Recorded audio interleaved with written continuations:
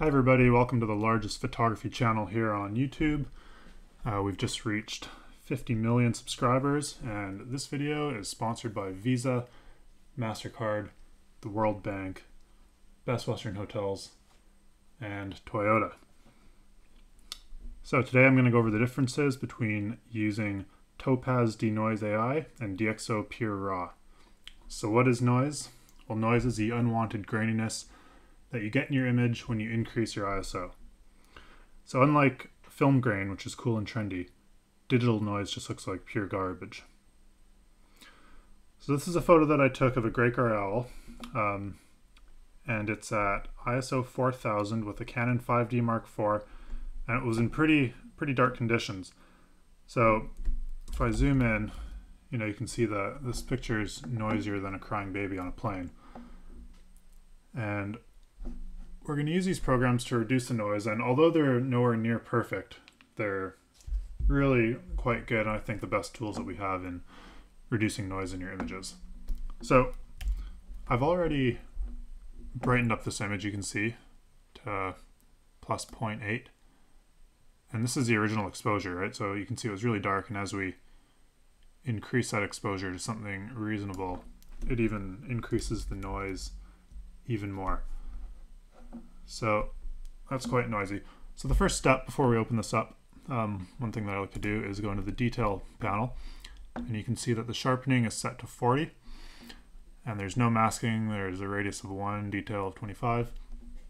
And this panel used to be set as a default to 25, but Adobe has now upped that to 40.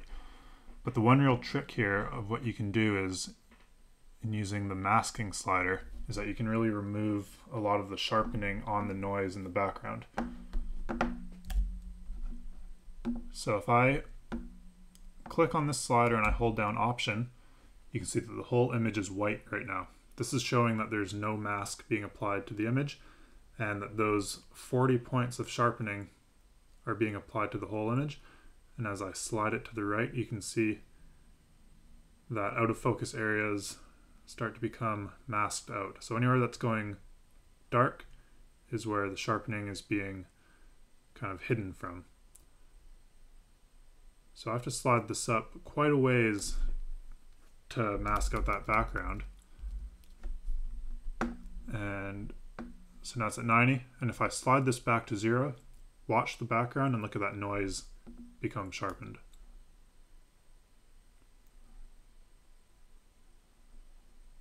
All right, so that's just one quick step in cleaning up your background. So we'll leave it around there. I'm just going to put this back to around 25. And from here, let's just go ahead and open that up into Photoshop.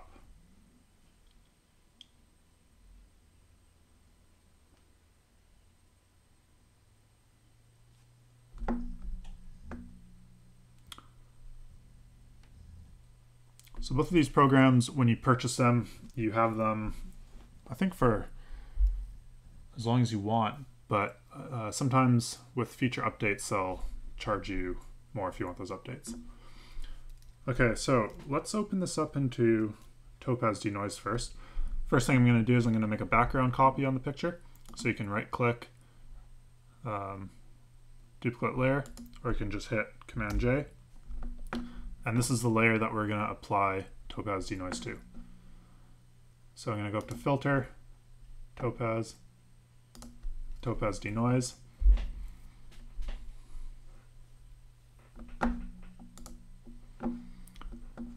You've got a couple of modes here. I haven't updated um, this program for a while, so the new update has an additional mode, but you can play around with all of these and see what you like. Uh, the first thing that we're going to do is just look at standard denoise AI. And so if you try to really get these sliders to the perfect amount of noise reduction, the problem that occurs is that it will noise reduce most of the image, but you'll have little blotches in the background that aren't noise reduced. And what I mean by properly noise reducing the image is that you don't want to noise reduce the image so much that it looks super silky and smooth, but you, you still want to have a little bit of texture showing through the background. Otherwise, the picture just looks unnatural. Um, and it's super easy to just completely destroy your images using this program. I see a lot of photos being posted on Facebook or wherever that are just completely silky smooth. Looks like some strange art piece. Uh, and to me at least, it just really does not look good. So, what we'll do is what, what I usually find is that just these default settings work pretty good. And what I like to do is I like to noise reduce the image a little overboard and then go into Photoshop and we'll reduce the opacity of that layer and allow some noise to come through. So I find that these settings usually work pretty good. You can play around obviously, but let's just leave it at that. We'll click apply. And this program, same with uh, DxO, they use a lot of RAM and they're really going to slow down your computer when you use them. So it's best to close any unnecessary programs, like close your iTunes, uh, you can close your internet browser, other programs that are going to consume RAM, and just leave that RAM open to be, be used by uh, by these programs. Otherwise, they, they take quite a while. You can see it's running kind of slow on here, and I have a really quite a fast computer. I I spec it out pretty well.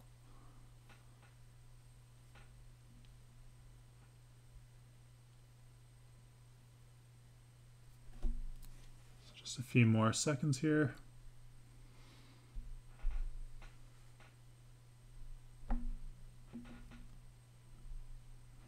Okay.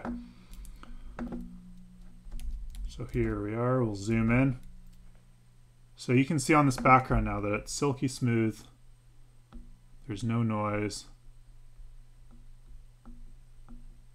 If we move around the image, it looks like it's done a pretty good job at covering everywhere. You can see right here, there's a little tiny spot that it kind of missed. So technically I could add a little bit more, but for the sake of the video, we'll just leave it there. And if I click on and off of this layer, you can see the difference that it's made. And by keeping a little bit of sharpening in there, uh, the actual sharpness of the owl hasn't really changed. Obviously, maybe I didn't adjust this completely perfect, but pretty good for now. So obviously this this image is way too silky smooth and it just looks kind of funny. So what we'll do is lower the opacity of this layer and to do that you can click here and drag the slider or you can just hover the mouse over the word opacity and drag it down and so you can see more or less noise changes as I move the slider. So we want some noise to be showing through. So that's at 70%. You know, there's still noise, but it's it's not atrocious, but it's still like looking pretty natural. And that's what we want. So that looks good to me. And then you would go ahead and do whatever workflow you need to do. Um, many people say that you want to noise reduce your images at the very end of your workflow. I tend to do it. Um, actually, no. Most people say that you want to do it at the start of your workflow, but I always tend to do it kind of towards the end, just so I can do most of my my uh, edits in Adobe Camera Raw. So now let's try this in in a DxO Pure Raw. So we're gonna click and drag it into the program. Okay, and so this program is a little bit funny.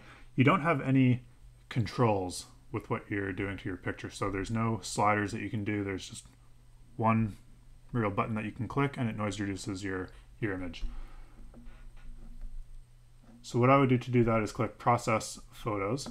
But you can see here that there's DxO modules. so typically in this program, if you click process photos, it would also apply the DxO lens module, which is some specific calibration for each camera and lens, and it would correct any any lens profile issues that you have or whatnot. But uh, the problem with using that is that it adds a ton of sharpening to the to the image file and it just looks really bad. So it really really over sharpens the image, and I find that it only works well for the noisiest of pictures. So what I like to do is click none of the above, so I don't want to apply the uh, optic modules. And now we'll click process photos. And we're gonna do DeepPRIME, that's their biggest file size, DNG, which is basically a like a universal raw file, and click process. So this only takes 15 seconds or so on my computer, but if I do this on my laptop, it takes minutes. So that's kind of the, the benefit of getting a good high-speed computer with lots of RAM is that these programs, these new AI programs just work so much faster. So we're going to bring that into camera raw. Usually it's best to, to, um, to bring your raw file into DxO completely unedited. I just brought in the edited edited version, um, but typically I think it's better to just bring in the complete unedited raw file. The one thing that this program does a little bit is it slightly changes the color. So this this photo now is like ever so slightly greener than the than the other one. Now if we zoom in, you can see that there's still noise in there, but it's greatly reduced from uh, from the original, of course. So let's see how that compares to Topaz.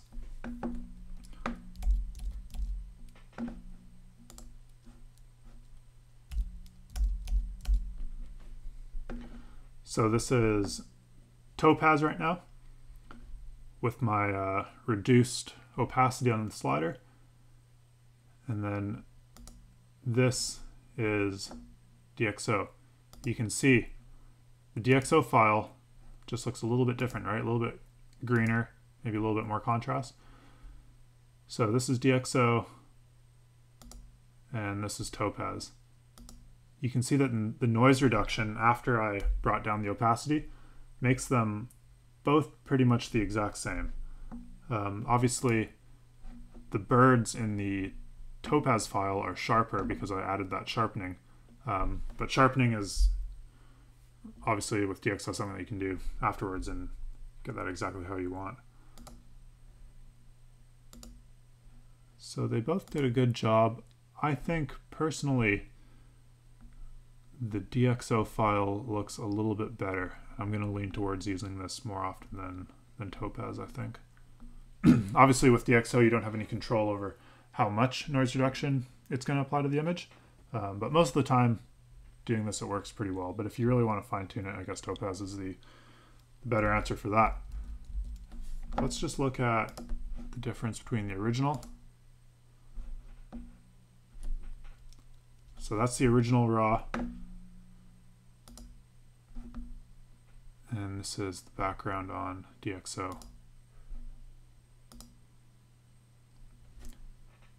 So pretty good in my opinion. Uh, hopefully you learned something from this video. Uh, if you want to follow along with my channel and be notified when I post more videos, feel free to hit the subscribe button. Thanks for watching.